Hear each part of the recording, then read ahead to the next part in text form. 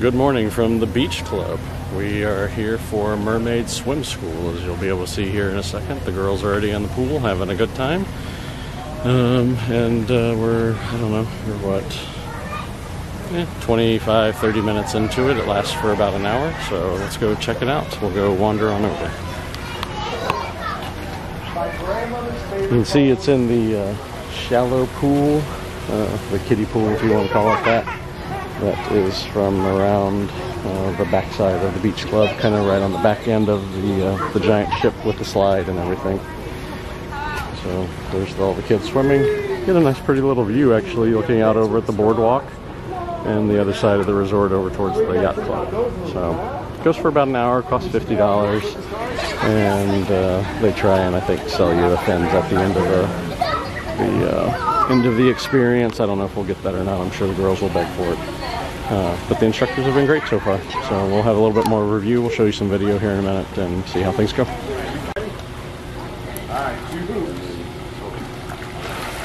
So here's a little video of uh, Mermaid Swim School. You can see Anna swimming through the hoops there. They've done one hoop. This is now doing two hoops at a time, so they're uh, continuing to go. We'll see what uh, other tricks they have in store for them. But, uh, they might call it Dolphin Swim School right now, but uh, the girls are having a good time.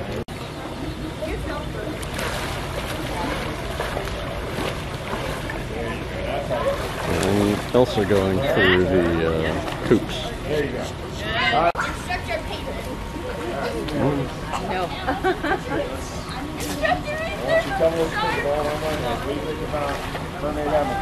Doing a good job? Yep. Ring trick? Alright, watch this magic trick.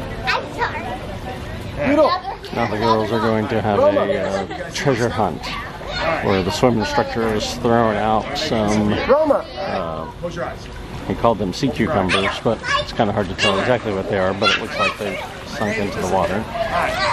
It, it looks like they've sunk into the water and now they're going to go swim for them. When do we go? Right here. Try to look for treasure. That's it. There's treasure and sea creatures on the bottom. So go ahead, whenever you're ready.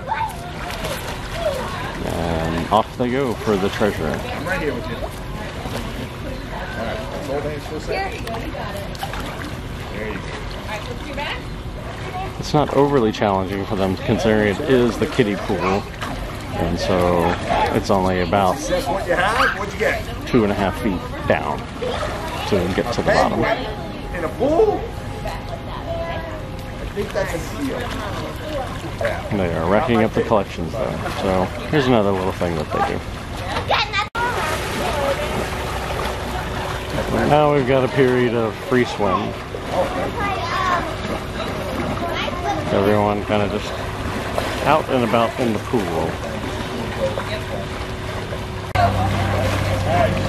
And with that, swim school is wrapped up. A, uh, a good time was had by all, I will say. The uh, girls seem to really enjoy it, and I'm sure we're going to pay dearly for these fins here in about five minutes.